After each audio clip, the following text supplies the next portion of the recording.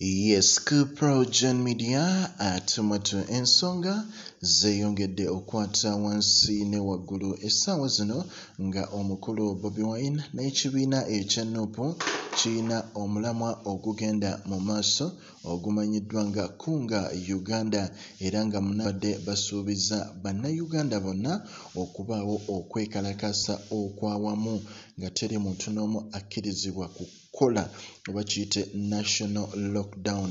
Era nga bangi bazze bakitambuza uh, pages ez'enjawulo ez'aba foot soldiers nga bagezaako omakinga sure nti ensi yonna ebeera aware uh, ekigenda obbeerawo nga munaana omwezi guno gwennyini gwe tulimu.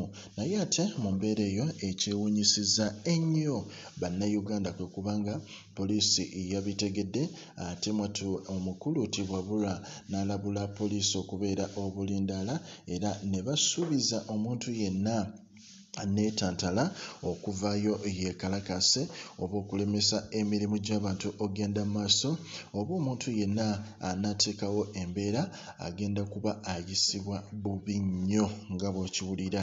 Abasajja bo beetegese abapoliisi n'abamagye okumakinga sure nti aa buli muntu yenna eyeetaba mu kwekalakasa kuno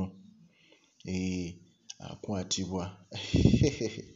Ee y'embeera ensi gy'etambuliramu naye nga okwekalakaasa okwo kuliyo nga munaana okw'ensi yonna.